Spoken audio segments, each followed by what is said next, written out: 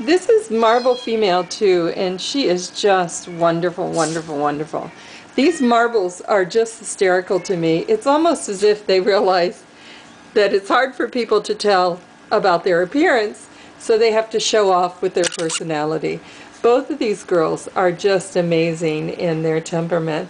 And uh, this little girl is going to be living in the Columbus, Ohio area um, with uh,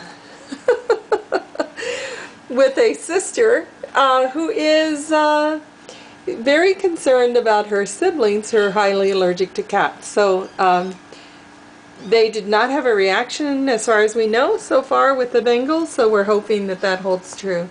I want you to see here the, the patterning coming in on her, which is absolutely stunning.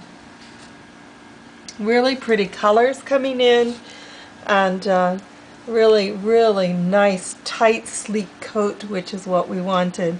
Again, a beautiful, beautiful marble, and uh, she is so funny. So here she is. This is Marble Female 2.